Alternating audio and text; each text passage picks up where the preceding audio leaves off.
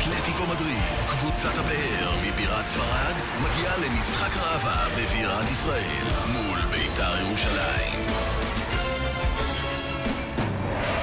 בית"ר ירושלים מול אתלטיקו מדריד, הערב שבע וחצי בערוץ הספורט.